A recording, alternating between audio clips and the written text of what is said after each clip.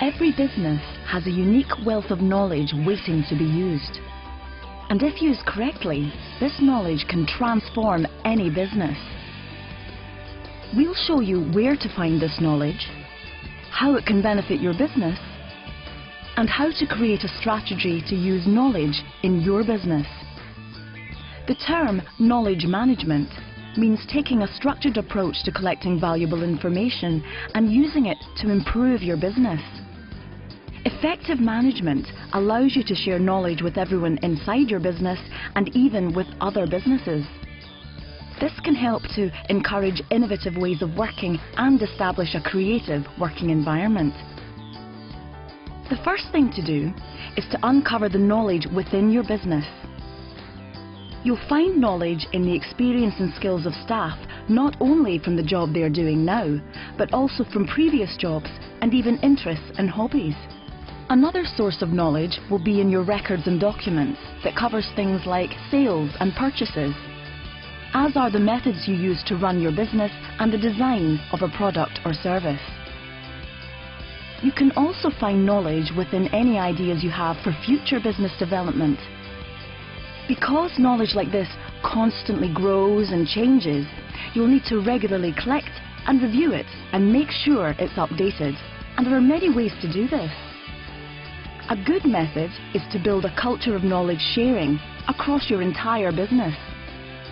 This means encouraging all members of staff to see the value of sharing knowledge so they'll come forward with important information. Knowledge could be shared between individuals or a team or project group members.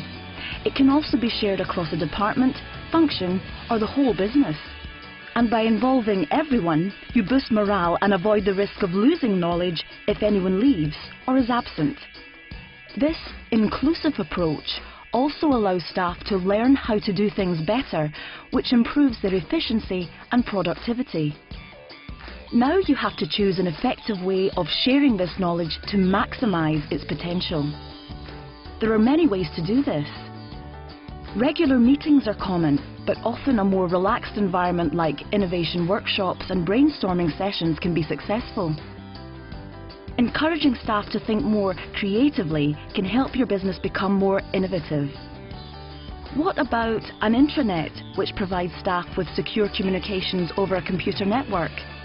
And even an extranet which will include customers and suppliers. Then there's social software and networking to encourage the easy sharing of knowledge. And don't forget the importance of further training as a means to spread knowledge, skills and best practice across your business. It's good to create and share all this valuable knowledge, but you also need to protect it. First thing to do is to keep your business knowledge confidential, and this will involve your employment policies. Consider confidentiality agreements for all members of staff and even clauses in contracts to stop anyone leaving your business from immediately joining a competitor or setting up a rival business. You should also protect knowledge through intellectual property rights. This allows you to stop others from copying your ideas or even to license your knowledge and sell it for a profit. You can also help to protect your knowledge through efficient storage and recovery systems for all files and documents. This can be done with an organised filing system or digitally on a computer. An organised system will help you to take advantage of valuable knowledge.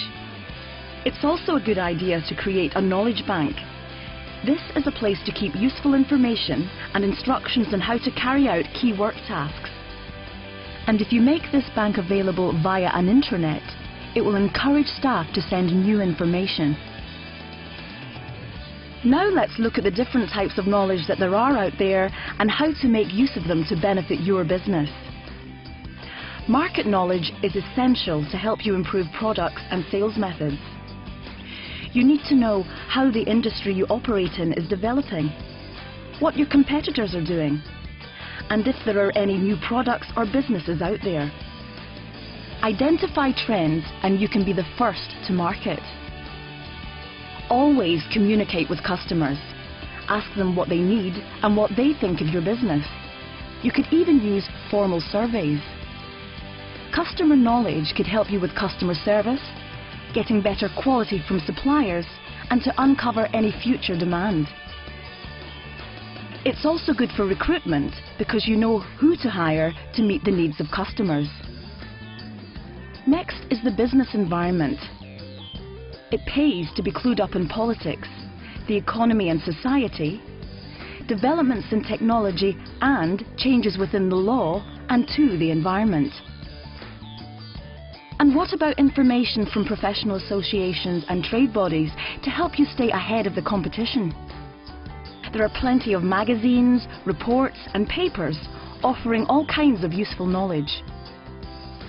For first-hand knowledge, you can attend trade exhibitions and conferences which are great for checking out the competition and catching the latest innovations.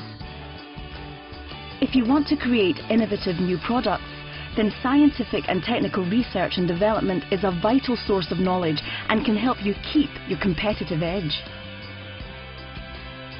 And don't forget the internet is a powerful source of knowledge, but make sure information is accurate before using it. By combining all this different information, you can form a knowledge base. By taking advantage of this knowledge base, you could maximize efficiency, reduce risks, and make the most of new opportunities. And this is known as a knowledge advantage. But you need a strategy to get the most out of all this knowledge. A knowledge strategy should guide the collection and sharing of knowledge within a business.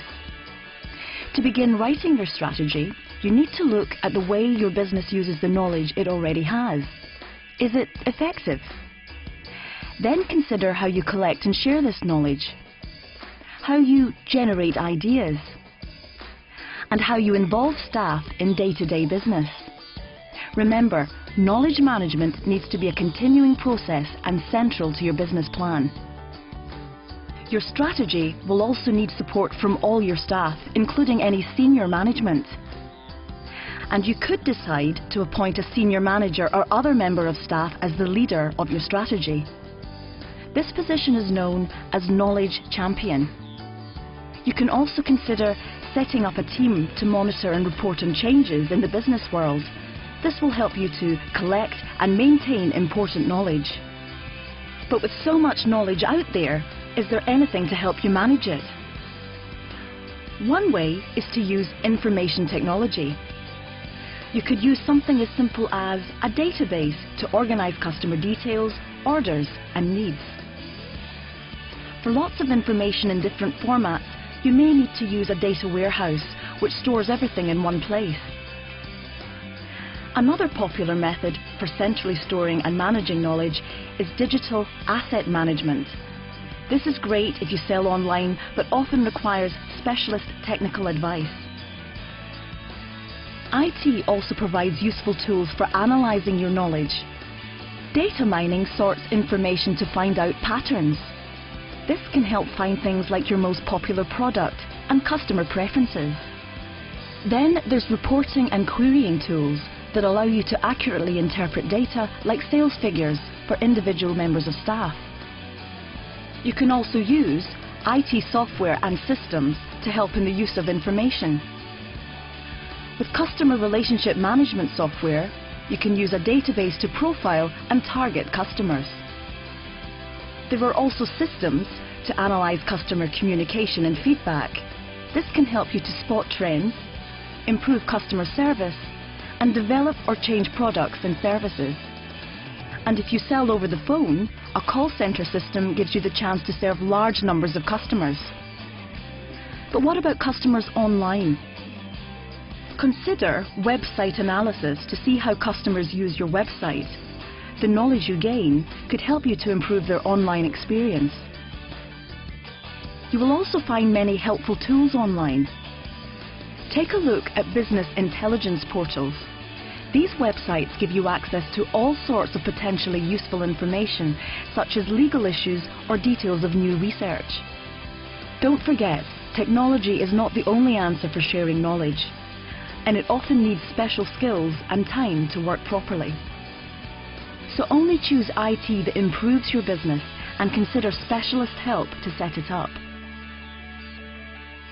Knowledge sharing can help any business to develop, but it needs to be properly managed to be effective.